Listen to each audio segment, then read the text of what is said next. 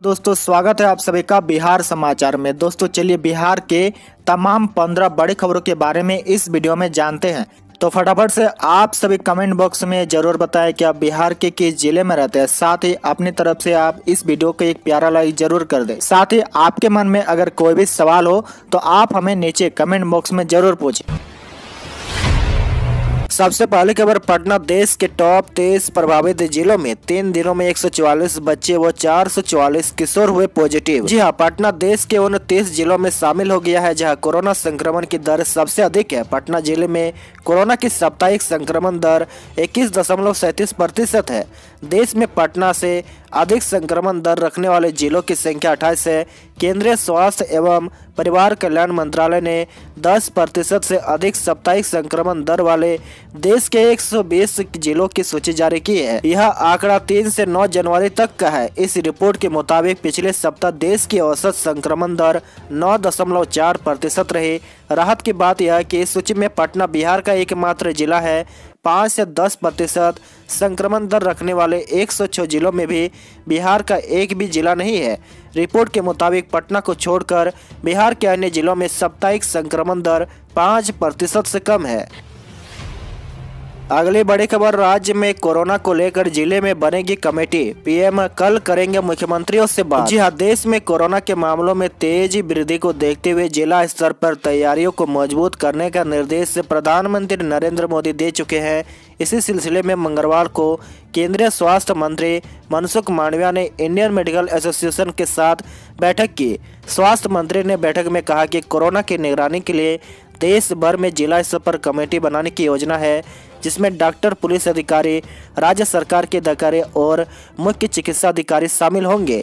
बैठक में लगभग 120 डॉक्टर वीडियो कॉन्फ्रेंसिंग के ज़रिए शामिल हुए। आपको बता दें कि चार दिनों में देश में कोरोना के नए केस डेढ़ लाख से ऊपर बने हुए हैं। मंगलवार को भी एक लाख अड़सठ हज़ार तिरसठ नए केस मिले हैं।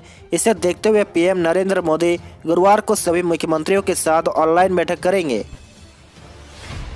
खबर बिहार में पिछले 24 घंटे में कोरोना से पाँच की मौत पाँच हज़ार नौ सौ आठ नए संक्रमित पटना से 2202 केस पीएम ने जाना सीएम नीतीश का जी बिहार में कोरोना की रफ्तार बढ़ती ही जा रही है। पिछले 24 घंटे में बिहार में 5,908 लोग पॉजिटिव पाए गए हैं।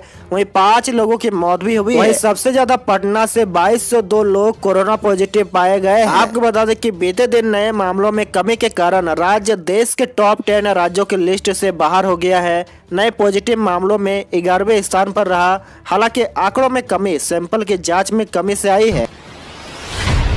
अगली बड़ी खबर, बिहार में नए दारोगा को 14 से 25 तक दिया जाएगा नियुक्ति पत्र। जी हाँ बिहार में हाल ही में बहाल हुए दो हज़ार बासठ नव नियुक्त दारोगा और 215 अवर निरीक्षक के पद पर नियुक्त हुए सभी अभ्यर्थियों को नियुक्ति पत्र वितरित किया जाएगा। 14 से 25 जनवरी तक सभी डीआईजी के कार्यालय में इन सभी नव नियुक्त दारोगा का नियुक्ति पत्र दिया जाएगा। जिन दारोगा घर जिस डीआईजी के क्षेत्र में पड़ेगा, उन्हें वहाँ पहुंचकर निर्धारित तारीख के बीच जाकर नियुक्ति पत्र प्राप्त करना होगा। इसके बाद उन्हें यह जानकारी दी जाएगी कि उन्हें कहाँ जाकर ज्वाइन करना है। अगली बड़ी खबर अब बिहार में भी होगी सेब की खेती। मई व जून में मिलेंगे फल। किसानों की बढ़ेगी आमदनी। हाँ अब बिहार में भी सेब की खेती होगी। सेब किसानों की आय बढ़ाएगा। राज्य में सेब की खेती की संभावनाओं को देखते हुए कृषि विभाग ने इस साल पायलट प्रोजेक्ट के तौर पर सात जिलों में सेब की खेती की योजना शुरू की है। विशेष उद्यानिक फ़सल योजना के तहत 10 हेक्टेयर में सेब की खेती कराने का लक्ष्य रखा है। वैशाली, बेगूसराय और भागलपुर में दो दो हेक्टेयर, जबकि मुजफ्फरपुर, औरंगाबाद, वैशाली, कटिहार और समस्तीपुर में एक एक हेक्टेयर में खेती के लिए किसानों से 15 जनवरी तक आवेदन मांगा गया है। सेब की खेती की लागत इकाई प्रति हेक्टेयर दो लाख छियालीस हज़ार दो सौ पचास रुपये है। अगली बड़ी खबर, बिहार बोर्ड ने जारी किया इंटर परीक्षा का एडमिट कार्ड ऐसे करे डाउनलोड जी हाँ बिहार विद्यालय परीक्षा समिति यानी बिहार बोर्ड ने इंटर बारहवीं बोर्ड परीक्षा के लिए एडमिट कार्ड जारी कर दिया है। बी द्वारा जारी नोटिफिकेशन के मुताबिक बिहार बारहवीं बोर्ड परीक्षा 2022 की परीक्षाएँ एक फरवरी से शुरू होगी और आखिरी पेपर चौदह फरवरी दो हज़ार बाईस को आयोजित किया जाएगा। वहीं बारहवीं प्रैक्टिकल की परीक्षा शुरू हो चुकी है, जो 20 जनवरी तक चलेगी। बिहार विद्यालय परीक्षा समिति की बारहवीं बोर्ड एग्ज़ाम में जो छात्र शामिल होने वाले हैं, वो official website Bihar board online dot com पर जाकर अपना एडमिट कार्ड डाउनलोड कर सकते हैं। एडमिट कार्ड डाउनलोड करने का स्टेप्स ऑफिशियल वेबसाइट पर दिया गया है। साथ ही इस बात का ध्यान रहे कि सभी छात्रों को उनके एडमिट कार्ड की हार्ड कॉपी अपने स्कूल से प्राप्त करनी होगी। वही एडमिट कार्ड में अगर कोई गलती है तो उसे सुधार करा ले। बिहार बोर्ड 2022 का आयोजन दो पालियों में किया जा रहा है। पहली पाली की परीक्षा सुबह साढ़े नौ बजे से शुरू होगी, वही दूसरी पाली की परीक्षा दोपहर एक बजकर पैंतालीस मिनट में शुरू की जाएगी। साथ ही आपको बता दें कि जिन उम्मीदवारों ने इंटरमीडिएट परीक्षा फॉर्म भरा है, वे अपने एडमिट कार्ड को डाउनलोड करने में होने वाले किसी समस्या के समाधान के लिए helpline number zero six one two double two three two zero seven four double two three two two five seven और double two three two two three nine पर संपर्क कर सकते हैं।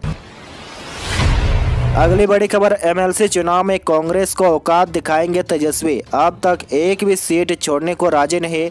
लगभग सारी सीटों पर राजद के उम्मीदवार तय जी हाँ राजद नेता तेजस्वी प्रसाद यादव एक बार फिर कांग्रेस को हैसियत बताने पर आमदा है। तेजस्वी यादव बिहार में स्थानीय निकाय कोटे से होने वाले विधान परिषद के 24 सीटों पर चुनाव में कांग्रेस के लिए भी सीट छोड़ने को राज़ी नहीं है। पिछले दो महीनों से विधान परिषद चुनाव के लिए समीकरण बनाने में जुटे तेजस्वी यादव ने लगभग सभी सीटों पर राजद के उम्मीदवारों के नाम तय कर लिए हैं। कांग्रेस के नेता इंतज़ार कर रहे हैं, लेकिन तेजस्वी बात करने को तैयार नहीं है। आज की सबसे पहली खबर, बिहार में वीकेंड लॉकडाउन की तैयारी। एक दो दिन में सरकार कर सकती है ऐलान। क्राइसिस मैनेजमेंट ग्रुप की बैठक में होगा फैसला। जी हाँ बिहार सरकार कोरोना के बढ़ते संक्रमण को लेकर अब बड़ा फैसला लेने वाली है। अगले एक दो दिनों में बिहार सरकार वीकेंड लॉकडाउन की घोषणा कर सकती है। इसको लेकर आधिकारिक तौर पर तैयारी की जा रही है। जल्द ही क्राइसिस मैनेजमेंट ग्रुप की बैठक होगी, जिसके बाद यह ऐलान होगा। जानकारी के मुताबिक बिहार सरकार लॉकडाउन की तरफ़ बढ़ रही है। इसी को लेकर अब पहले दौर में साप्ताहिक लॉकडाउन लगाने की व्यवस्था की जाएगी, यानी कि शनिवार और रविवार को लॉकडाउन किया जा सकता है। बड़ी खबर बिहार में 24 जनवरी तक आएगा कोरोना का पीक पटना एम्स के डॉक्टर ने चिताया, हम सतर्क नहीं हुए तो भयावह होगी स्थिति, बंदी से बढ़ानी चाहिए। जी हाँ बिहार एक बार फिर कोरोना की गिरफ्त में है। तीसरी लहर में नए केस मिलने की रफ्तार दूसरी लहर से काफ़ी तेज है। इस बार बिहार का आर वेल्यू चार के ऊपर है, यानी यह कोरोना विस्फोट होना तय यही वजह है की बीते सत्रह दिनों में कोरोना के नए केसेज पाँच हज़ार गुना तेज़ी से बढ़े हैं। पटना एम्स के नोडल पदाधिकारी डॉक्टर संजय कुमार के अनुसार बिहार में तीसरी लहर का पीक 24 से 26 जनवरी के बीच आएगा। इसमें रोज़ाना बीस हज़ार नए केस सामने आ सकते हैं।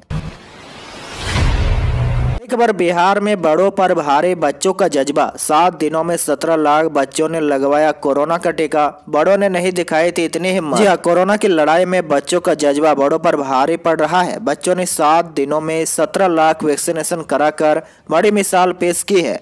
सोमवार सुबह ग्यारह बजे तक 15 से 18 वर्ष के 17 लाख चौदह हज़ार नौ सौ चौसठ बच्चों ने वैक्सीनेशन कराया है। सात दिनों में वैक्सीनेशन का यह आंकड़ा स्वास्थ्य विभाग के लिए बड़ी उपलब्धि है।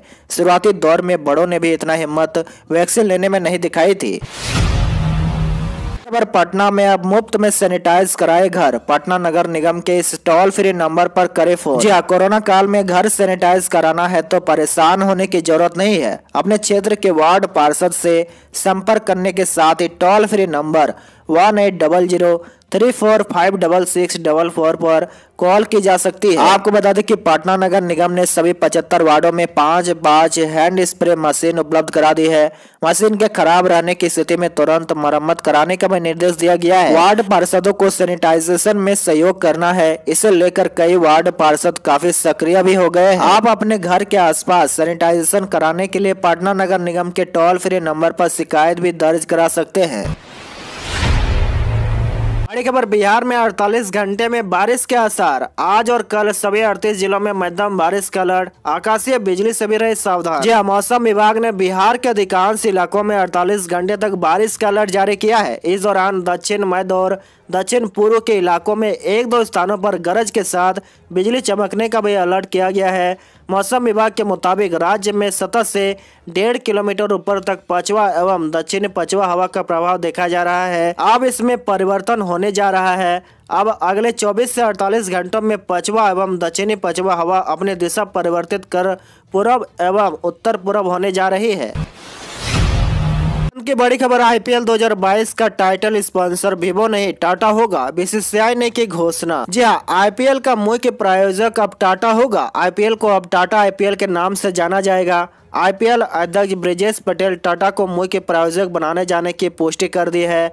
वीवो का करार 2023 में खत्म होना था। हालाँकि कंपनी और बीसीसीआई ने समय से पहले ही अलग होने का फैसला किया।